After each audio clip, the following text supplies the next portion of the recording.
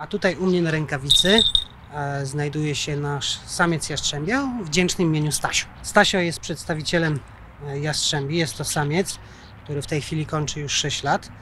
E, I tutaj chcieliśmy zaprosić do Podlaskiego Muzeum Kultury Ludowej, gdzie poza e, zbiorami etnograficznymi, e, starymi budynkami, które można, można obejrzeć i zobaczyć, e, jest bardzo dużo elementów takich przyrodniczych. No między innymi my jako Ośrodek Edukacji Ekologicznej Sokolarnia chcielibyśmy zaprosić na takie zajęcia, gdzie ptaki latają luzem. One latają nad głowami, za nami, przed nami, wykonują różne akrobacje, chociaż kładziemy główny nacisk, żeby pokazać ich naturalne zachowania. Można zobaczyć, jak wygląda takie e, fin- sfingowane polowanie myszołowca towarzyskiego, jak jastrząb łapie wyrzucane do góry wabidło.